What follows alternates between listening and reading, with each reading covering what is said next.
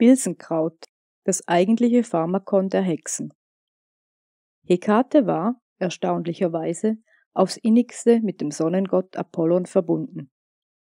Apollon war in der frühen griechischen Welt genauso fremdartig wie Hekate.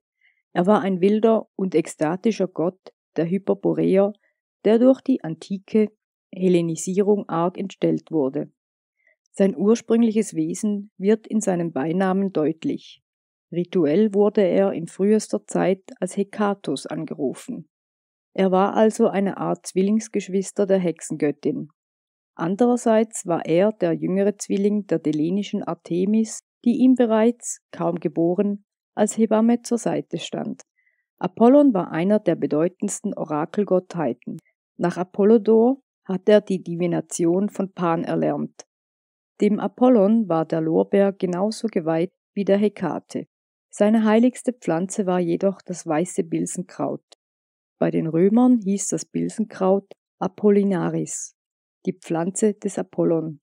Sie wurde im Lateinischen auch als Symphonica oder Insanin, Wahnsinnerzeugende, bezeichnet. Die Griechen kannten sie unter dem Namen Hioskiamos, Schweinebohne oder Pitonionka, Drachenpflanze, die keltischen Gallier nannten sie Belinotem, Kraut des Orakelgottes Belenos.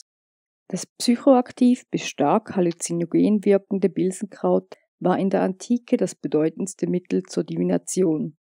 Gewöhnlich wurde dazu von den Pythias, Sibyllen, Wahrheitssagerinnen, auch den germanischen Alrunas, der Rauch von Kraut oder Samen inhaliert. In dem dadurch ausgelösten tranceartigen oder visionären Bewusstseinszustand konnten sie Hellsehen oder Orakel geben. Das Bilsenkraut gehörte zu den wichtigsten Heilpflanzen der Antike.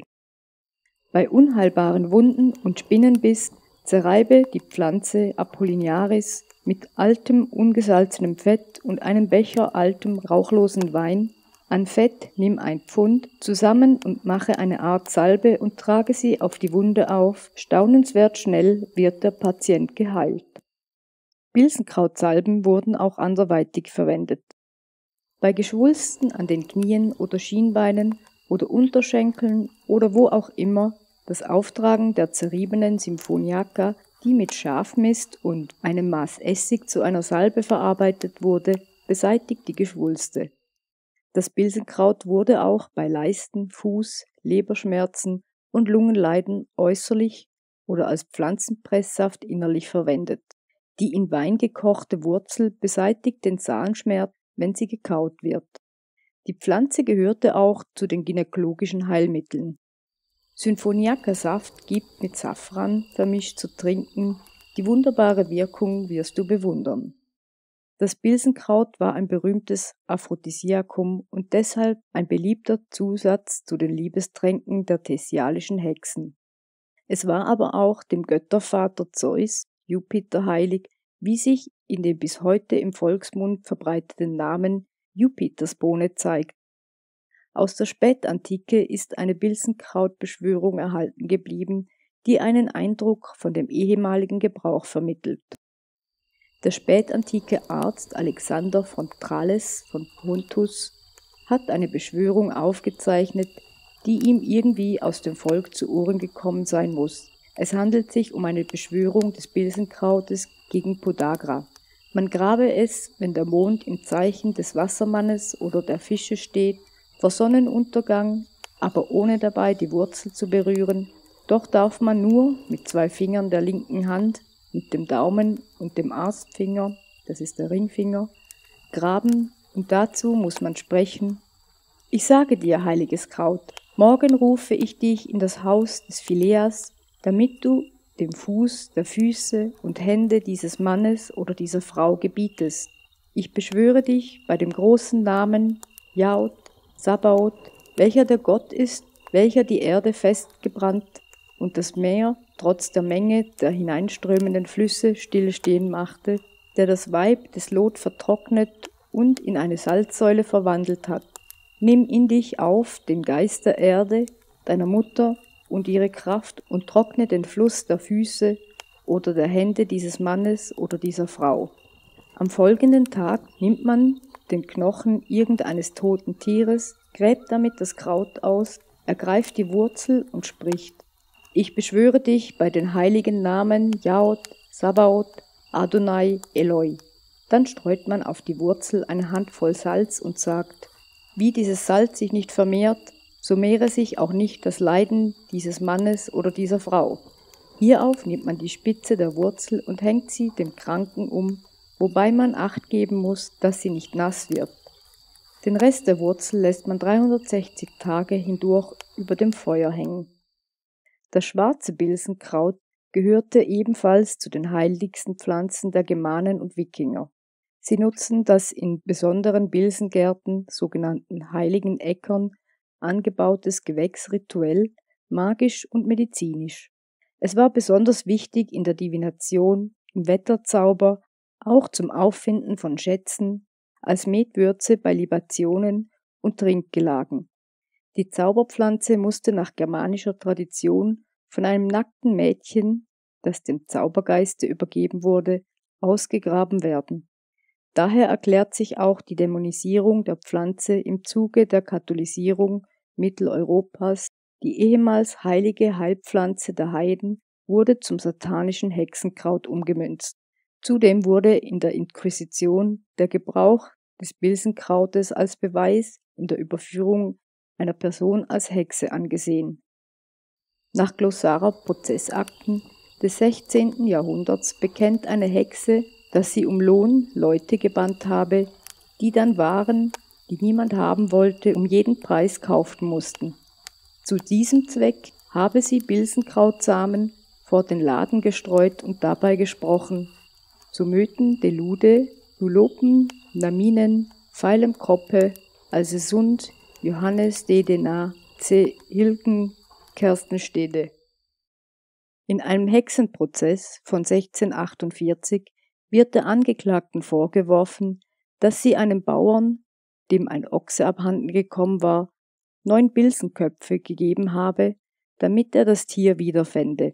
Das bedeutet, dass hier eine alte schamanische Praktik vorliegt, dass nämlich in einer durch ein psychoaktives Mittel ausgelösten hellsichtigen Trance verlorene Objekte wieder aufgefunden werden. Eine in Pommern angeklagte Hexe gestand, dass sie einen Mann toll, das heißt geil gemacht habe, indem sie ihm Bilsensame in die Schuhe gestreut hat. Vom Wissen der Gothaer Kräuterfrau Conne Boxdorf ist 1529 einiges dokumentiert worden. Sie sammelte an jedem Tag der Woche ein anderes Kraut. Sonntags wollte sie ruhen. Da es aber ein segensreicher Tag, der Tag des Sonnengottes Helios, Sol, Apollon, war, würde er das Gift im Bilsenkraut bannen, und deswegen holte sie dieses Kraut rasch vom Schutt an den nahen Wegen.